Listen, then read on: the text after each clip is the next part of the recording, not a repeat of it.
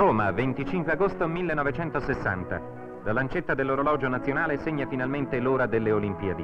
Il fuoco sacro che ha bruciato tutta la notte nel tripode innalzato sul Campidoglio giunge allo stadio dove 100.000 persone attendono la proclamazione dei giochi.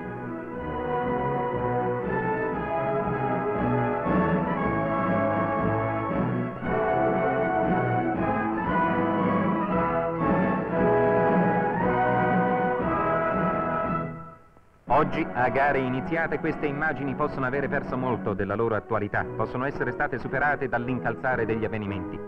Ma il gesto che dichiara aperta l'Olimpiade non può rimanere isolato dal sovrapporsi di altre sequenze.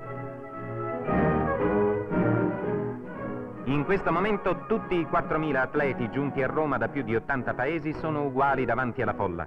Tra loro si nasconderà il recordman di domani, l'uomo cavallo, il nuotatore squalo.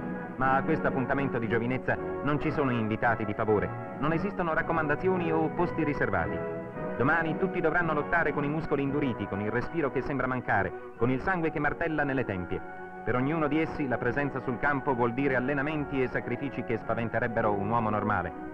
Nello spazio di una gara tutti bruceranno mesi di preparazione come si spendono denari faticosamente accumulati. Ma l'Olimpiade non è fatta solo di pesi, di misure, di avversari da battere. Lo sport può catalizzare in queste riunioni supernazionali gli ideali di fratellanza che tutti vanno predicando, ma che nessuno si decide a mettere in pratica.